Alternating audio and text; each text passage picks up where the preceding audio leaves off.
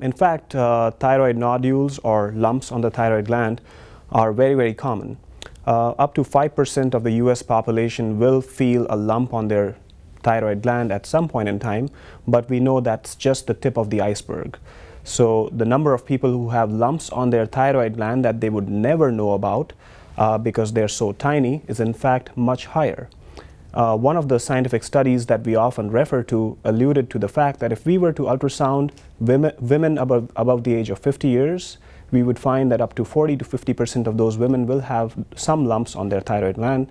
But fortunately, most of these nodules and lumps are benign or non-cancerous and uh, may not impact their lifestyle significantly.